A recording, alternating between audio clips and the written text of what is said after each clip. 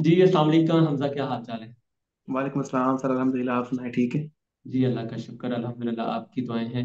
हमजा सबसे पहले तो आपको मेरी तरफ़ से बहुत बहुत मुबारक हो कि आपने माशाल्लाह इतने अच्छे नंबर लिए हैं।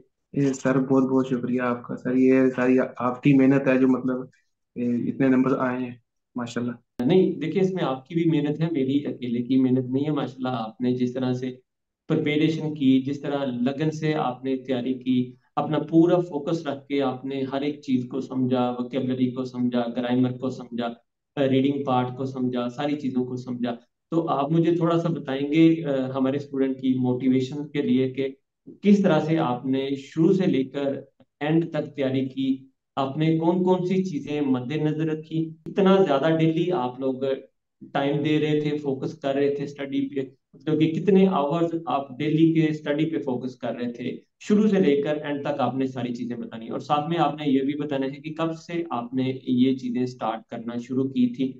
और जो जो चीज़ें जो जो मुश्किलें आपको पेश आई वो थोड़ी सी आपने हमें गाइड करनी है बच्चों के। लिए सर मैंने ना ये आठ तरीक को सर इसकी करवाई थी रजिस्ट्रेशन उसके बाद सर मैं ना स्टार्ट हो गया था आपके जो ये चैनल है उस पर तो मैंने सर बाकायदगी से आपके जो लेक्चर लेना शुरू मतलब ये कर दिए थे। तो उस वक्त मैं साथ जो भी करता था, फिर मैंने बाद में छुट्टियाँ ले ली। तो मेरे पास सर टाइम ये देखने के अट्ठाईस तारीख को मेरा टेस्ट था। तो उसको मैंने मद्देनजर रखते हुए सर मैं सुबह आठ से लेकर रात बारह बजे तक पढ़ता था। सोलह सोलह घंटे मैंने ना जो आपने कहा था कि ये चारे चारे बुकें रेडी होंगी तो आपकी जो टेस्ट पे जो ग्रिप था ना वो मतलब ठीक होगी। वो मैंने, मेरा जहन था कि मैंने चार बुकें तैयार करनी है। वो मैंने आप जिस तरह आपने कहा था मैंने माशाल्लाह वो चारे बुकें तैयार की हैं। तो उसके साथ उसको फिर आपने कहा था इसको रिपीट करना है। तो मैंने फिर इसको रिपीट भी किया है अल्हम्दुलिल्लाह मतलब ये मैंने बीस तारीख तक मैंने ये चार बुकें कंप्लीट कर ली थी और जो अट्ठाईस तारीख तक वो मैंने सारे बुकें वो रिपीट की। सॉरी आपकी बात काट काट हो रही है। अच्छा देखिए आपने मतलब कि ये बीस दिन के अंदर अंदर उनको गो थ्रू भी किया साथ में रिपीट भी किया उनको? जी सर जी सर मैंने बीस तारीख तक अपना जो पूरा कोर्स था ना वो मुकम्मल कर लिया था। वो वो मैंने अपना टाइम मैंने मैंने खुद किया मतलब कि सुबह आठ से लेकर सोलह सोलह घंटे पढ़ के मतलब। और अल्हम्दुलिल्लाह फिर मैंने वो अट्ठाईस सताईस तारीख तक मैंने फिर उसको दोबारा रिपीट किया एक दफ़ा। अच्छा इसमें तो मुश्किल टाइम आती थी आपको? मतलब कि वोकेबलरी की मुश्किल आती थी रीडिंग की मुश्किल आती थी? मुझे सर जो मुश्किल थी ना बस वो यही थी कि सर सोलह सोलह घंटे मतलब कि पूरा पूरा दिन बैठ के पढ़ना वो मुश्किल आती थी और मुश्किल इसमें कोई नहीं था। थोड़ा सा मुश्किल ये होता है कि मतलब जबान ऐसी है सुबह से लेकर बंदा बंदा शाम तक पढ़ता है तो बंदे का अपना दिमाग ना सर में दर्द शुरू होना शुरू हो जाता है। ठीक, बिल्कुल ऐसा ही, बिल्कुल ऐसे कंटिन्यूअसली कोई नई चीज़ है ना, उस पर टाइम देना बड़ा मुश्किल है। अभी आप हमें ये बताएँ कि आपने मतलब इसमें कौन सी चीज़ों पे ज़्यादा फोकस रखा था? रीडिंग पे ज़्यादा फोकस रखा था? वोकेबलरी पे फोकस रखा था? लिसनिंग पे फोकस रखा था?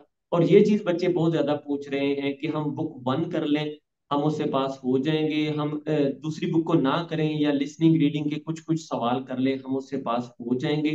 क्या ऐसा पॉसिबल है और क्या ऐसा भी सीन है कि बुक वन करके जस्ट आप टेस्ट पास कर सकते हैं? क्या क्या सोच कोई सीन है इस तरह का कोई? नहीं सर, बात यह कि बुक वन से तो आपका बेसिक में कंप्लीट होगा, जो मतलब सारी वो, उसकी ग्रामर वगैरह है, जो आपकी टेक्निक्स हैं पेपर की, वो आपकी नहीं हल होगी, ठीक है? मेरी तो कोशिश यही रही है कि जो पूरा की पूरी चार किताबें है ना वही मैंने कंप्लीट पहले करनी है ये फिर ही मतलब कि आगे कुछ कुछ ना कुछ सोचना है। अभी आप ये बताएँ कि पेपर बुक वन से आ रहा है बुक टू से आ रहा है या रीडिंग लिसनिंग बुक से आ रहा है? हज़ार हज़ार जो एमसीक्यूज हैं उनमें से आ रहा है। पेपर सर दोनों बुकों से आता है। इसमें सर ग्रामर का सवाल भी आता है उसके अलावा जो गिनती का सवाल है हमारा साइनो कोरियन उसका भी आता है तारीख तरीका भी आता है सवाल ठीक है? ठीक है। तो वो सर हर किस्म के सवाल आते हैं। इसने तो मेरे ख्याल में आपसे पढ़ा होगा वो तो अल्हम्दुलिल्लाह चीज़ कर लेगा। अच्छा बुक टू से कितना कितना पोर्शन वो कवर कर रहे हैं जो पेपर के हवाले से? क्योंकि रीडिंग का पोर्शन जो है ना वो बुक टू से आई थिंक सो आ रहा है। तो रीडिंग के जो सवाल हैं वो बुक टू से कितने का आ रहे हैं आपके अंदाजे? बुक टू से सर मुझे तीन चार सवाल आए होंगे मेरे ख्याल में। अभी मुझे इतना याद नहीं है तो ठीक है। तीन चार मुझे पता है। उन्होंने सर ऐसा होता है कि सर उन्होंने ना वो वोकेबलरी उठा के ना सर उसी के सवाल बनाए होते हैं। वो सर जिस तरह आपने कहा है कि वोकेबलरी आपकी मज़बूत होगी तो आपको सवाल पढ़ना आसा, आसान होगा। रीडिंग आपको पढ़नी आती होगी आपको मसला नहीं होगा। वोकेबलरी मेरे पास काफ़ी थी उसके अलावा मैंने वो प्रैक्टिस की थी उसको रीडिंग करने की। अच्छा दूसरी बुक जो है मतलब कि आप क्या समझते हैं वो ज़रूरी है इसके लिए पेपर को पास करने के लिए? सर बहुत ज़रूरी है। कुछ लड़के कहते हैं कि चालीस के बाद साठ साठ तक चैप्टर कर लें। लेकिन सर अगर आप पहले वो शुरू वाले चैप्टर नहीं करेंगे तो आपको वो जो ग्रामर है उसका जो पूरा कह लेंगे तरीका समझ नहीं आएगा। वो सर वो दोनों बुकें आपको पढ़नी मेरे ख्याल में लाजमी है। कल्चर रिलेटेड सर मुझे वो हम्म, सवाल तो नहीं आया था लेकिन सर वो मतलब कह लें कि ग्रामर उसकी सारी की सारी यूज़ होती है। चले माशाल्लाह आपकी अच्छी कोशिश है। तो बच्चों के लिए आप की तरफ़ से कोई भी कह लें सजेशन आप क्या देंगे कि किस तरह से आप वो तैयारी करें? कितना टाइम डेली का वो दे रहे हैं आप? सर ये हर बंदे का अपना हिसाब है। अगर किसी बंदे के पास टाइम काफ़ी ज़्यादा है उसको तो कोई मसला नहीं है। वो तो आसानी से कर लेगा। जिसके पास टाइम कम है मेरे ख्याल में उससे फिर इसको इसके बारे में थोड़ा सा ना सीरियस होना पड़ेगा। क्योंकि जब तक हम इसके बारे में सीरियस नहीं होंगे ये टेस्ट पास नहीं होगा। सुबह से लेकर शाम तक तो इसके बारे में पढ़ना पड़ेगा लाजमी। अच्छा एक और मिथ बड़ी कायम है कि तुक्का लगा सकते हैं। जुगाड़ लगा सकते हैं। बहुत सारी जगहों से मैंने ये सुना भी है कि हम आपको टिप्स दे देंगे, ट्रिक्स दे देंगे मतलब कि ऑप्शन नंबर तीन, फलाने फलाने सवाल की तीन नंबर ऑप्शन आपने टिक कर देनी है, फलाने फलाने सवाल की आपने फला ऑप्शन टिक कर देनी है। क्या ऐसा भी कोई सीन है कि तुक्का शुक्का लग सकता है कि नहीं लग सकता? सर तुक्का शुक्का नहीं लगता। ये सर सिर्फ़ बातें बनी है तुक्का लग जाता है। तुक्का सर जिसका लगता है उसके अस्सी नब्बे नब्बे इतने बस आते हैं। इसी ऊपर नहीं आते। इसी ऊपर लेने के लिए सर मेहनत ही करनी पड़ेगी बंदे को। तो मैंने सर असल में ना पिछले साल भी टेस्ट दिया था। तो मैंने सर अकेडमी से यहाँ फैसलाबाद से यहाँ ना तैयारी की थी। वो मतलब मैं भी गलत नहीं कहूँगा कि कोई हर बंदे का अपना स्टाइल होता है पढ़ाने का। उन्होंने सर मतलब तैयारी तैयारी मतलब करवाई थी एक सौ बीस पच्चीस नंबरों की। तो साथ में बंदे अपना माइंड होता है कि शायद कोई एक दो तुक्के लग जाएँगे। मेरी सर उस ठीक। वक्त तैयारी थी एक सौ दस नंबर की तो वो मे, मेरे सर उस वक्त भी नंबर पूरे नहीं आए। तो इसके बाद मैंने सोच लिया था बल्कि मैंने पिछले साल का ही सोचा था कि मैंने आपका ही कोशिश करनी है कि आपके लाइव क्लासेस लेनी है नहीं तो ऑनलाइन बैठ के पढ़ना है करी तो मैंने ठीक। अल्हम्दुलिल्लाह आप ही तो ही मतलब इसके सामने रख के तो पढ़। के सारा सारा कोर्स कवर किया है तो अल्हम्दुलिल्लाह ये उसी का नतीजा है। चले माशाल्लाह जी बहुत बहुत मुबारक हो अगेन आपको।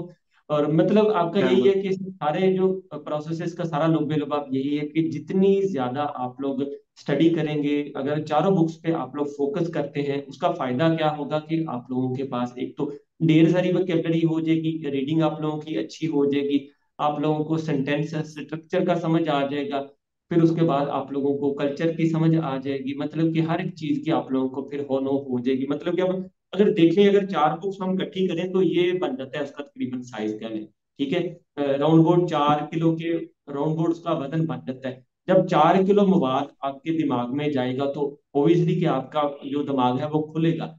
उसके आपको फ़ायदे होंगे मतलब कि वो आपको पेपर में बहुत ज़्यादा हेल्प करेगी। ये नहीं कि आप इधर उधर की सोच के बैठ जाए। अक्सर लड़के यही सोचते हैं कि कोई नहीं हो जाएगा, कोई मसला नहीं, ये आसान है। तस्वीरों वाले सवाल आ जाएँगे, हम टिक कर लेंगे तुक्का लगा लेंगे सर, आपकी बात बिल्कुल ठीक है। लड़के यही सोचते हैं कि मतलब मैं ये मतलब तुक्के लग जाएँगे तस्वीरें आ जाएँगी। सर, ये अगर इस तरह का सर सोचते रहेंगे तो सर टेस्ट पास नहीं होगा।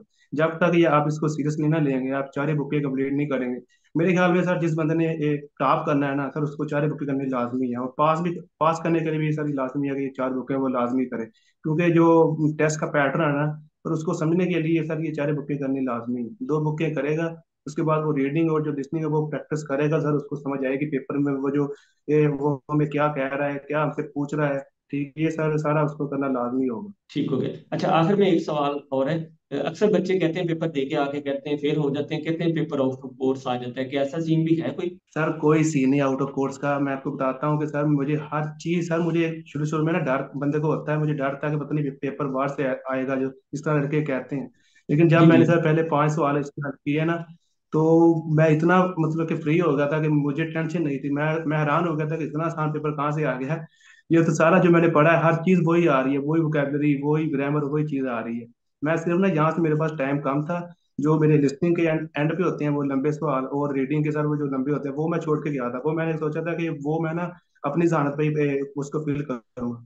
तो मेरे वही सवाल गलत हुए हैं। बाकी अल्हम्दुलिल्लाह जितनी मैंने तैयारी की थी वो सारे के सारे सवाल ठीक हुए हैं। तो वो मेरे अल्हम्दुलिल्लाह चालीस में से बत्तीस सवाल मेरे ठीक हुए हैं और आठ वही सर मेरे ए, मतलब गलत हुए हैं जो मैंने ये घर से नहीं पढ़े। माशाल्लाह ज़बरदस्त। आपको अगेन मेरी तरफ़ से हमजा बहुत बहुत मुबारक हो और अगला जो प्रोसेस है उसके लिए भी आपके लिए मैं दुआ करूँगा इंशाल्लाह ताला आपका स्किल टेस्ट का प्रोसेस भी आसानी से गुजर जाए। आगे मेडिकल का प्रोसेस हो जाए और फिर आगे आखिर में जो आपका रोस्टर फॉर्म है वो भी आसानी से फिल हो जाए।